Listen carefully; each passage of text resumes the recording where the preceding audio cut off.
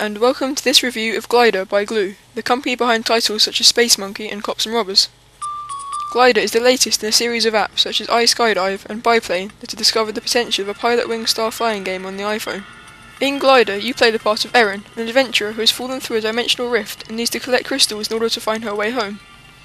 Unlike many similar games, there are no bloodthirsty monsters or fanatical hitmen trying to kill you, you can just concentrate on drifting between the well-designed and original game locations. This include caverns, mountains, and even a moving satellite. While not perfect, the graphics are smooth and colourful and fit the game extremely well, as does the well-composed music and sound effects. The game world is currently formed of six beautiful locations, which connect seamlessly and make you wonder why Eryn is even trying to get home. Of course, the most important aspect in the game is the flying itself.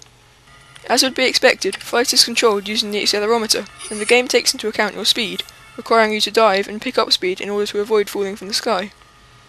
If you want to gain any altitude, you simply look for a blue arrow in the air that indicates a thermal and use it to get some lift.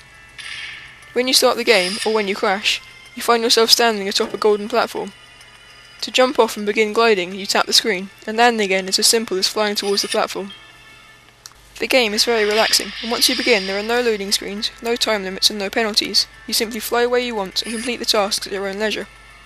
The ultimate aim of the game is to collect each of 225 crystals, discovering new worlds as you go. However, there are also 48 achievements to complete, and for the more competitive players out there, you can complete time runs between colour-coded trip platforms. Glyder took me a couple of days to complete, which is more than most games of a similar price, and promises hours of stress-free exploration that's perfect for any journey, or just for playing in front of the TV. The only fault with Glyder is that currently there is no way to calibrate the accelerometer for flying. However, this is going to be added with the next update. It would also be nice to have some sort of user profile system, as nothing is more annoying than starting the game only to find out that someone has overwritten all of your progress. Overall, Glyder has won the App Source rating of 9 out of 10, for its relaxing and unique gameplay, great graphics and sound, and brilliantly designed game world.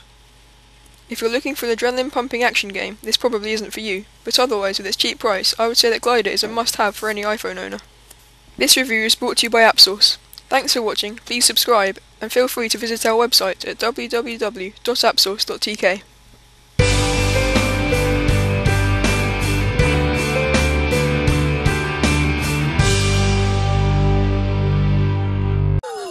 AppSource is now recruiting. If you think you have what it takes to make an informed, good quality review, please visit our website and go to the staff page to apply.